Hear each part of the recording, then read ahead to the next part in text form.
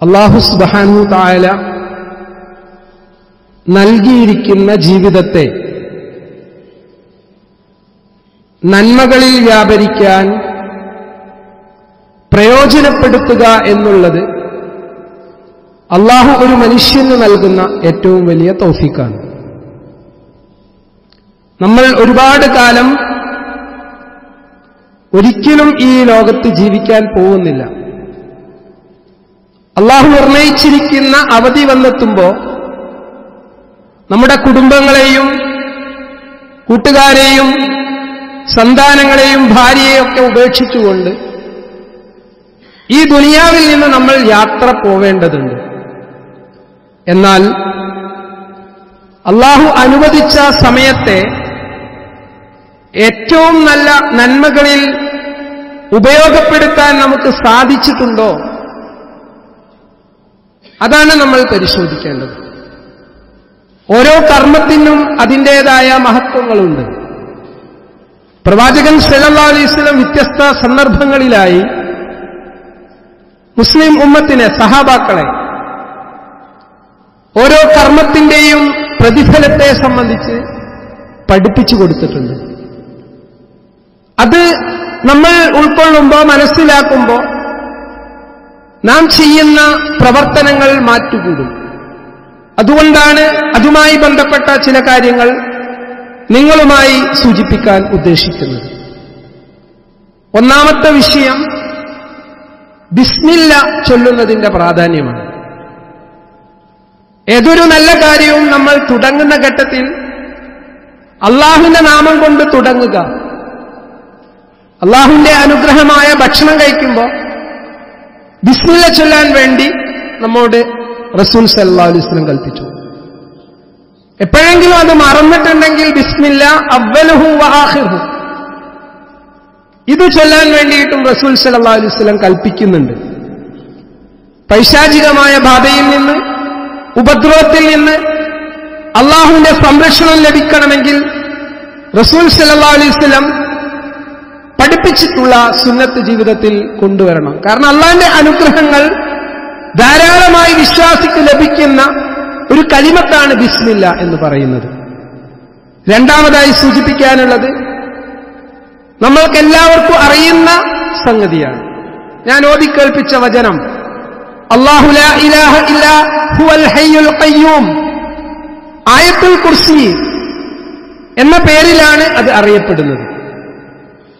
എന്നാൽ അത് ചൊല്ലാൻ നമുക്ക് സാധിക്കുന്നുണ്ടോ?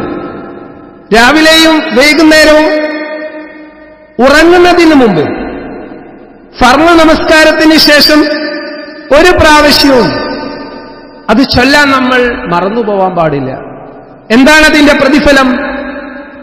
നമ്മുടെ ശത്രുവായിട്ടുള്ള ഷെയ്ത്താന്റെ ഉപദ്രവങ്ങളിൽ നിന്ന് സാമീപ്യത്തിൽ നിന്ന് തടയപ്പെടും. അതുപോലെ തന്നെ റസൂൽ സല്ലാ അലൈസ്ലം നമ്മെ പഠിപ്പിക്കുകയാണ് വിശ്വാസികൾക്ക് മലക്കുകളുടെ കാവലുണ്ടായിരിക്കും ആയത്തുൽ കുറിച്ച് ചൊല്ലുന്ന ഒരാൾക്ക് മലക്കുകളുടെ കാവലുണ്ടായിരിക്കും. വീടുകളിൽ നിന്നും മറ്റ് സ്ഥലങ്ങളിൽ നിന്നും ഷെയ്ത്താൻ ഓടിപ്പോകും. വളരെ പ്രാധാന്യമുള്ള കാര്യമാണ്. കാരണം ഒരു നല്ല കാര്യം നമ്മൾ നിർവഹിക്കാൻ വേണ്ടി ഒരുമ്പെടുന്ന ഘട്ടത്തിൽ വസ്വാസുണ്ടാക്കാൻ വേണ്ടി അള്ളാഹുവിന്റെ സ്ഥിതിയായിട്ടുള്ള പിശാജുണ്ട് ആ പിശാജിന്റെ ഉപദ്രവത്തിൽ നിന്ന് അള്ളാഹുവിന്റെ സംരക്ഷണം ലഭിക്കുന്ന കാര്യമാണ്.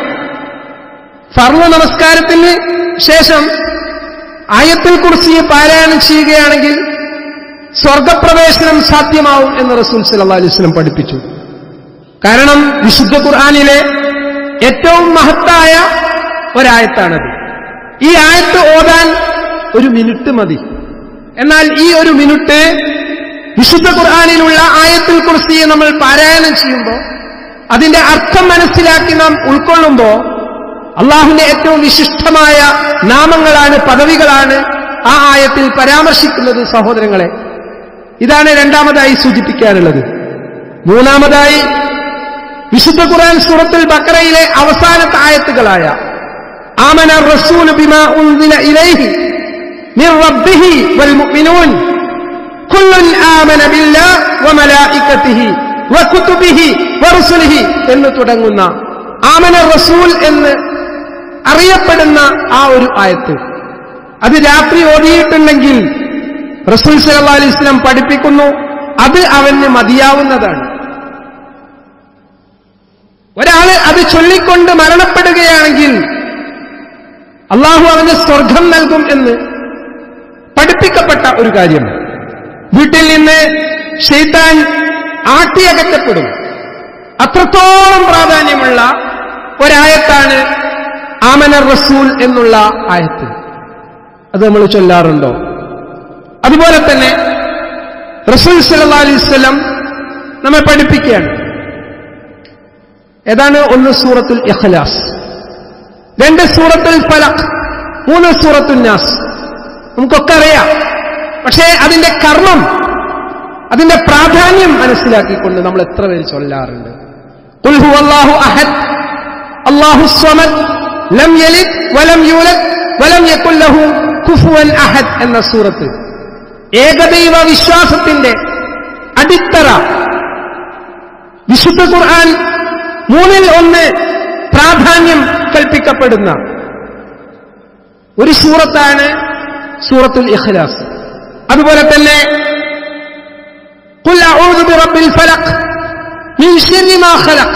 എന്നുള്ള സൂറത്ത്.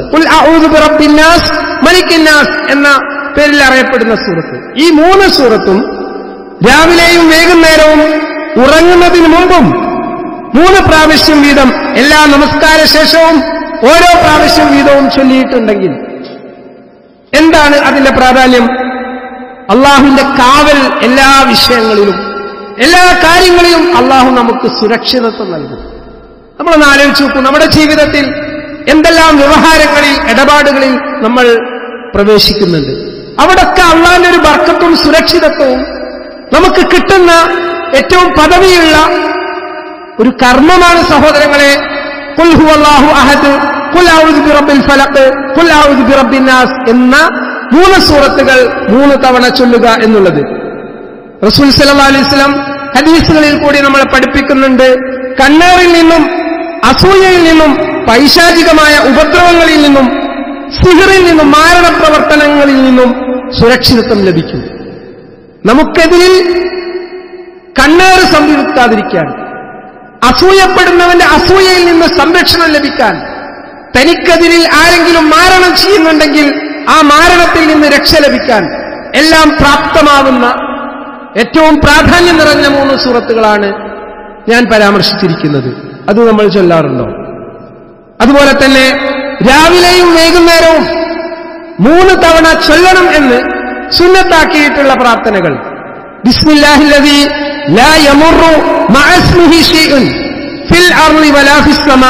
വഹുവ സമീഉൽ അലീം.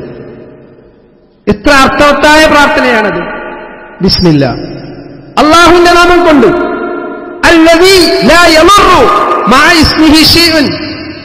അള്ളാഹുവിന്റെ നാമം കൊണ്ട് ആരംഭിച്ചിട്ടുണ്ടെങ്കിൽ ഒന്നും ഒരു ഉപദ്രവവും ഏൽപ്പിക്കുകയില്ല. ഫിൽ അർളി വലാഭിസ്തമ ആകാശത്തോ ഭൂമിയിലോ ഉള്ള ഒന്നും ഉപദ്രവം ഏൽപ്പിക്കുകയില്ല. ബഹുവസ്തമീവല്ലലീം അള്ളാഹു എല്ലാം കേൾക്കുന്നവനും അറിയുന്നവനുമാണ്. ഇത് മൂന്ന് വട്ടം രാവിലെയും വൈകുന്നേരവും ചൊല്ലാൻ വേണ്ടി റസൂൽ സല്ലാ പഠിപ്പിച്ചിട്ടുണ്ട്. എന്താണ്? എല്ലാ ഉപദ്രവങ്ങളെയും അത് തടയും എന്നുള്ളതാണ്.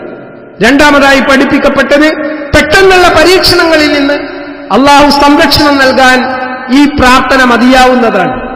സഹോദരന്മാരെ അറിയാത്തവർ ഈ പ്രാർത്ഥന അത്തരത്തിലുള്ള ഗ്രന്ഥങ്ങൾ പ്രാർത്ഥനാ പുസ്തകങ്ങൾ നമ്മുടെ കൈകളിലുണ്ട്.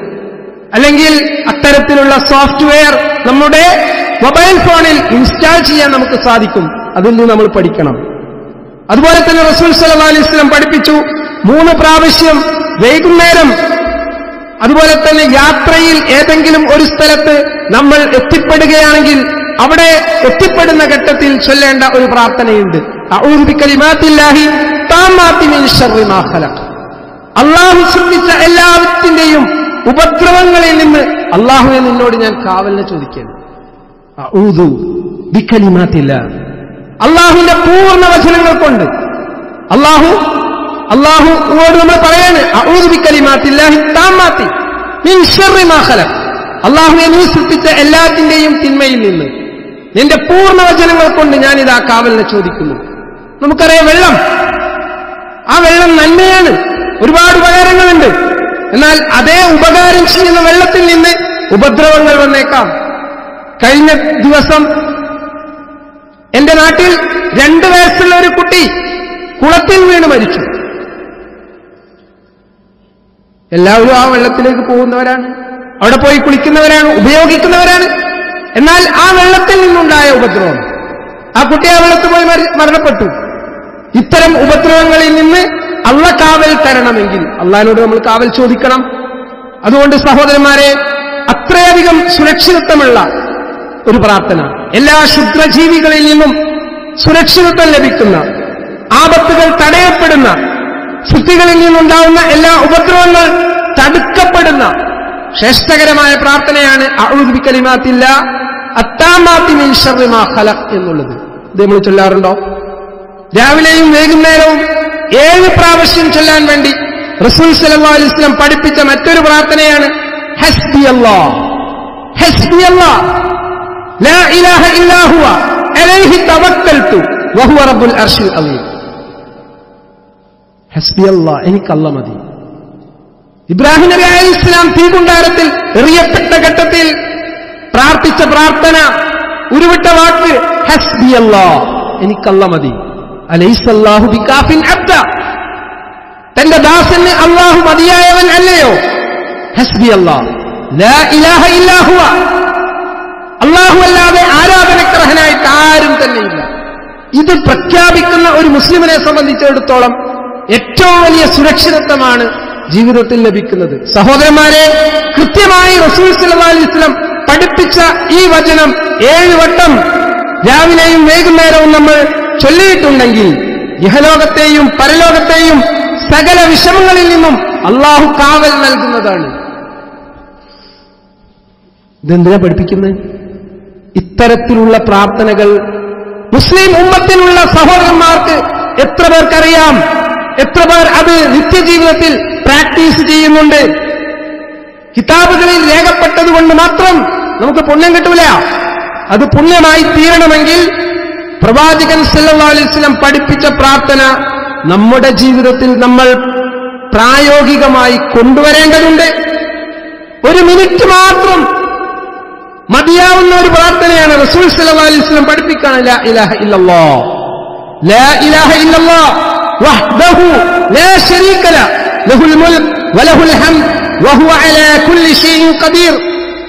സുബഹിക്കും മഗ്രിബിനും ശേഷം പത്ത് പ്രാവശ്യം ചൊല്ലാൻ വേണ്ടി കൽപ്പിക്കപ്പെട്ട പ്രാർത്ഥന.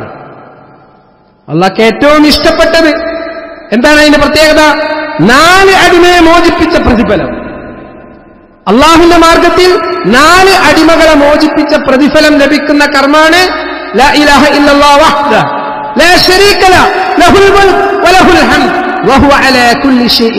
എന്ന് പറയുന്നത്. പോരാ ഇത് ചൊല്ലുന്ന ഒരാൾക്ക് പത്ത് നന്മകൾ രേഖപ്പെടുത്തും. പത്ത് തിന്മകൾ മായ്ക്കപ്പെടും. പ്രഭാതത്തിൽ പറഞ്ഞിട്ടുണ്ടെങ്കിൽ പ്രദോഷം വരെയും വൈകുന്നേരം വരെയും പ്രദോഷത്തിലാണ് പറഞ്ഞതെങ്കിൽ പ്രഭാതം വരെയും പിശാചിൽ നിന്ന് ആ വ്യക്തിക്ക് കാവൽ ലഭിക്കും.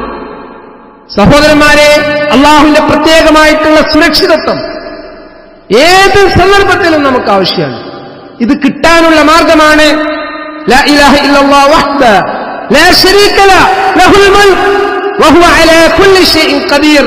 വാഹനം ഡ്രൈവ് ചെയ്ത് പോകുന്ന ഘട്ടത്തിൽ നമുക്ക് ചൊല്ലാൻ ഒരു പണിയില്ല. ഒരു പത്ത് വട്ടം ചൊല്ലാൻ ഒരു പണിയില്ല. ഒരു മിനിറ്റ് മതി. അതുപോലെ തന്നെ റസൂൽ അലൈഹി പഠിപ്പിക്കുന്നു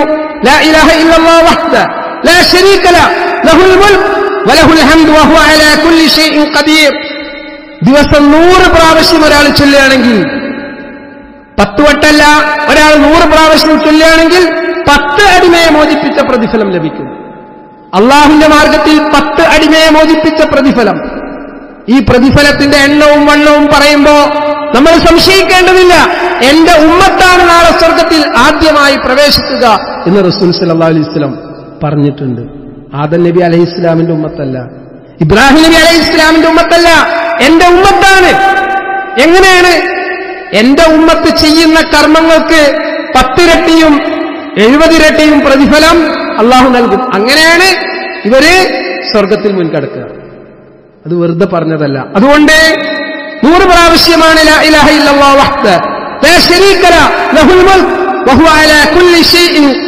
എന്നൊരാൾ ചൊല്ലുകയാണെങ്കിൽ നൂറ് നന്മ അല്ല രേഖപ്പെടുത്തും. നൂറ് തിന്മ അള്ളാഹു മായ്ച്ചു കളയും.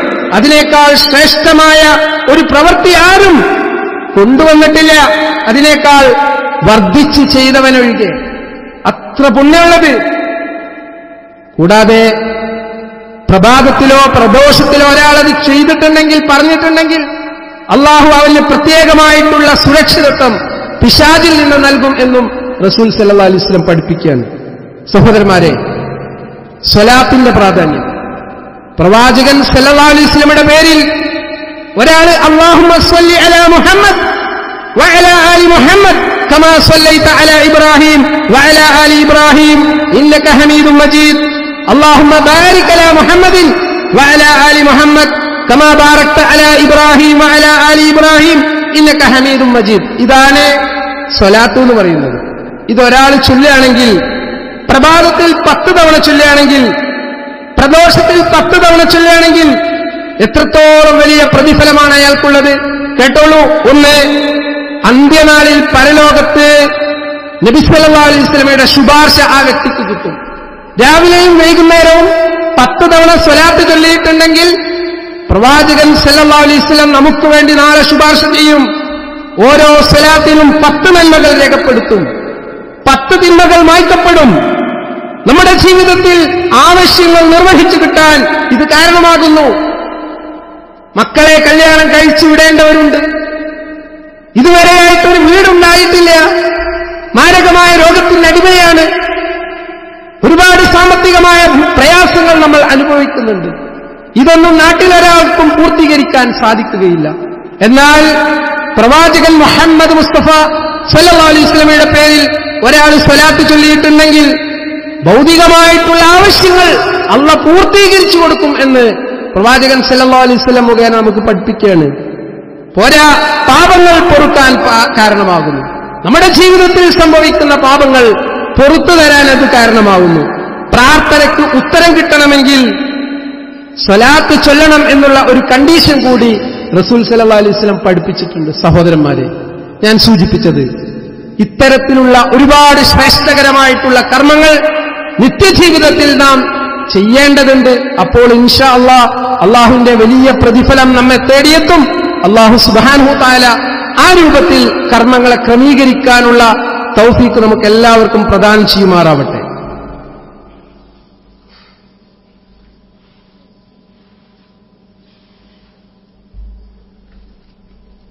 الحمد لله رب العالمين والصلاة والسلام على رسوله الأمين وعلى آله وأصحابه أجمعين يا أيها الذين آمنوا اتقوا الله حق تقاته വലാ തമൂത്തുന്ന ഇല്ലാ വ അന്തും മുസ്ലിമും സ്നേഹം നിറഞ്ഞ സഹോദരന്മാരെ സഹോദരികളെ. അള്ളാഹുവിന്റെ വിശിഷ്ടമായ ഭവനത്തിൽ അള്ളാഹു ഏറ്റവും ഇഷ്ടപ്പെടുന്ന കർമ്മങ്ങൾ നിർവഹിക്കാൻ വേണ്ടിയാണ് വെള്ളിയാഴ്ചകളിൽ നമ്മൾ ഒത്തു ചേരുന്നത്. അതിന്റെ പൂർണത ലഭിക്കാൻ വേണ്ടി നമ്മൾ പരിശ്രമിക്കണം എന്ന് സാന്ദർഭികമായി സൂചിപ്പിക്കുകയാണ്. ഒരു കർമ്മത്തിന്റെ പൂർണത. ഇതെപ്പോഴേ ആവശ്യം വരിക സഹോദരന്മാരെ? ആവശ്യം നേരിടുന്ന ഘട്ടങ്ങളുണ്ട്. അന്ന് നമ്മെ സഹായിക്കാൻ ആരുണ്ടാവില്ല നമ്മുടെ കർമ്മങ്ങളുടെ തൂക്കം കൊണ്ട് മാത്രം ഒരിക്കലും നമുക്ക് സ്വർഗം കിട്ടുമെന്ന് വിചാരിക്കേണ്ട. അള്ളാ റഹ്മത്ത് കൊണ്ട് കാരുണ്യം കൊണ്ട് മൂടിയെങ്കിൽ മാത്രമേ നമുക്ക് സ്വർഗം കിട്ടുള്ളൂ. അതുകൊണ്ട് സയ്യിദുൽ ഇസ്തിഗ്ഫാർ എന്ന ഒരു പ്രാർത്ഥന എല്ലാ ദിവസവും രാവിലെ നമ്മൾ ചൊല്ലേണ്ടതുണ്ട് സഹോദരന്മാരെ. അത് ചൊല്ലുമ്പോ എന്താ? ആ പ്രാർത്ഥനയുടെ ഫലു കൊണ്ട് നമുക്ക് അള്ളാഹു സുബാനൂട്ടാല നമ്മുടെ പാപങ്ങൾ പൊറത്തു തരും. രാവിലെ മാത്രമല്ല വൈകുന്നേരവും ഒരു പ്രാവശ്യം ഇത് ചൊല്ലാൻ വേണ്ടി കൽപ്പിക്കപ്പെട്ടിട്ടുണ്ട്. എന്താണ് പ്രാർത്ഥന? അള്ളാഹുമ്മ അൻത റബ്ബി. അള്ളാഹുവെ നീ എന്റെ രക്ഷിതാവാണ്. ലാ ഇലാഹ ഇല്ല അൻത. നീയല്ലാതെ ആരാധനക്കർഹനായിട്ട് ആരുമില്ല. അതൊരു ഡിക്ലറേഷനാണ് അതൊരു പ്രഖ്യാപനമാണ്. അള്ളഹാനോട് ഞാൻ പറയണം അള്ളാഹുമ്മ അള്ളാഹുവെ അൻതുറബി നീ എന്റെ രക്ഷിതാവാണ് നീ എന്റെ രക്ഷകനാണ്.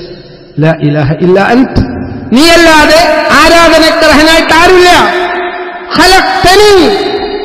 നീയാണ് എന്നെ സൃഷ്ടിച്ചത്.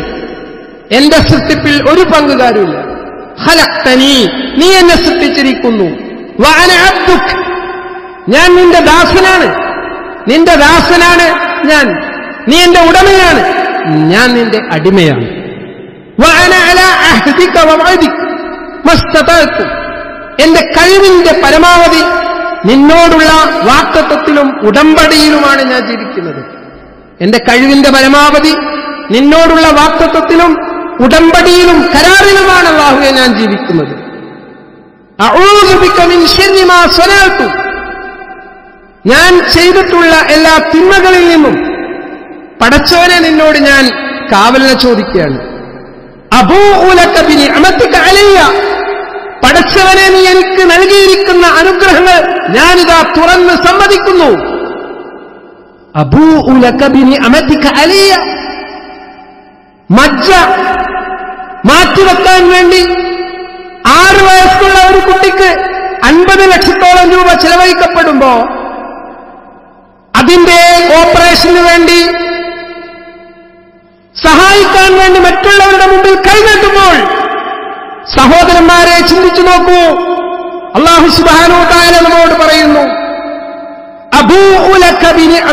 അലയ്യ. നിനക്ക് മുകളിൽ നാം ചെയ്തു തന്ന അനുഗ്രഹങ്ങൾ അള്ളാഹു നിങ്ങൾക്ക് ചെയ്തു തന്ന അനുഗ്രഹങ്ങൾ നിങ്ങൾ എണ്ണി തിട്ടപ്പെടുത്തുകയാണെങ്കിൽ എണ്ണി തിട്ടപ്പെടുത്താൻ നിങ്ങൾക്ക് സാധിക്കില്ല. അതിനു മാത്രം അനുഗ്രഹങ്ങൾ അള്ളാഹു എനിക്കും നിങ്ങൾക്കും ചെയ്തു തന്നിട്ടുണ്ട്. ആ അനുഗ്രഹങ്ങൾ അള്ളാഹുവെ ഞാനിതാ തുറന്ന് സമ്മതിക്കുന്നു. എന്റെ കുറ്റങ്ങൾ പാപങ്ങൾ തുറന്ന് സമ്മതിക്കുന്നു. രാത്രിയുടെ മറവിൽ ഒറ്റക്കിരിക്കുമ്പോൾ ആരും കാണാതെ ഞാൻ ചെയ്തിട്ടുള്ള തെറ്റുകൾ പടച്ചോനെ ഞാനിതാ നിന്നോട് തുറന്ന് സമ്മതിക്കുന്നു. അതുകൊണ്ട് ഫഗ്ഫിർലി പടച്ചോനെ നീ എനിക്ക് പുറത്തു തരണം. ഉമ്മയെ കാണാതെ ഉപ്പയെ കാണാതെ ഭാര്യയെ കാണാതെ മക്കളെ കാണാതെ സ്വകാര്യ നിമിഷങ്ങളിൽ ഞാൻ ചെയ്തിട്ടുള്ള തെറ്റുകൾ അള്ളാ നിനക്കറിയാം. അതുകൊണ്ട് പഠിച്ചവനെ ഫഹസുർലി നീ എനിക്ക് പുറത്തു തരണം. പാപങ്ങൾ പുറത്തു തരാൻ നീയല്ലാതെ വേറെ ആരുമില്ല നാളെ ഇത് രാവിലെയും വൈകുന്നേരവും ചൊല്ലിക്കഴിഞ്ഞിട്ടുണ്ടെങ്കിൽ ദൃഢവിശ്വാസിയായിട്ടൊരാൾ പകലിൽ പറഞ്ഞിട്ടുണ്ടെങ്കിൽ ആ ദിവസം വൈകുന്നേരത്തിന് മുമ്പ് അയാൾ മരിച്ചിട്ടുണ്ടെങ്കിൽ അയാൾ സ്വർഗാവകാശികളിൽ പെട്ടവനാണ് എന്ന് റസൂൽ സല്ലാ സ്വലം പഠിപ്പിക്കുകയാണ്. ഈ പ്രാർത്ഥന ഇന്നുവരെ നമ്മൾ ചൊല്ലിയിട്ടുണ്ടോ? നമുക്കിത് അറിയോ? പലതും നമുക്കറിയാലോ. മൊബൈൽ ഫോണിൽ നിരന്തരം നമ്മൾ സ്വൈപ്പ് ചെയ്യുമ്പോ എത്ര സമയമാണ് നാം അനാവശ്യമായിട്ട് വാട്സപ്പും ഫേസ്ബുക്കും ഇൻസ്റ്റാഗ്രാമും പരിശോധിക്കാൻ വേണ്ടി ഉപയോഗിക്കുന്നത്. എന്നാൽ പ്രവാചകൻ സല്ലല്ലാഹു അലൈഹി പഠിപ്പിച്ച ഏറ്റവും ശ്രേഷ്ഠമായിട്ടുള്ള വിക്രുകളും പ്രാർത്ഥനകളും നിത്യജീവിതത്തിൽ കൊണ്ടുവരാൻ വേണ്ടി നമ്മൾക്ക് നേരല്ല സഹോദരന്മാരെ അതാണ് ഇന്ന് മുസ്ലിം ഉമ്മത്ത് നേരിടുന്ന സകല പരീക്ഷണങ്ങളുടെയും മൂലകാരണം എന്ന് നമ്മൾ മനസ്സിലാക്കുക. വെറുതെ അല്ല പരീക്ഷിക്കൂല. ഒരു തിരിച്ചുപോക്കിന് വേണ്ടി മടക്കത്തിന് വേണ്ടി അള്ളാഹുവിനേക്ക് വിനയപ്പെട്ട് മടങ്ങാൻ വേണ്ടി അവസരങ്ങൾ അല്ല തരികയാണ് വിശ്വാസിയുടെ ജീവിതം എന്ന് പറഞ്ഞാൽ നിരന്തരം പരീക്ഷണങ്ങൾ കൊണ്ട് നിറഞ്ഞതാണ്. അതുകൊണ്ട് ഓരോ പരീക്ഷണങ്ങൾ വന്നു ചേരുമ്പോഴും വിശ്വാസിയുടെ വിശ്വാസത്തിൽ ദൃഢത വർദ്ധിക്കുകയാണ് ചെയ്യുക. അതൊരവസരമായിട്ട് നമ്മൾ കണ്ടാൽ. അതുകൊണ്ട് നമ്മുടെ അടുത്ത് വന്ന മിസ്റ്റേക്സ് അത് കറക്റ്റ് ചെയ്യാനുള്ള അവസരമായി ഇത്തരം സന്ദർഭങ്ങളെ കാണുകയും അള്ളാഹുവിലേക്ക് കൂടുതൽ കൂടുതൽ വിനയപ്പെട്ട് മടങ്ങുകയും ധാരാളം ഉപകാരപ്രദമായ അറിവുകൾ ജീവിതത്തിൽ കൊണ്ടുവരികയും ചെയ്യാൻ നമ്മൾ ദൃഢ പ്രതിജ്ഞ ചെയ്യുകയും പ്രവർത്തിക്കുകയും ചെയ്യുക. അള്ളാഹു സുബാനു താല അതിനുള്ള തൗഫീക്ക് നമുക്കെല്ലാവർക്കും പ്രധാനം പ്രദാനം ചെയ്യുമാറാവും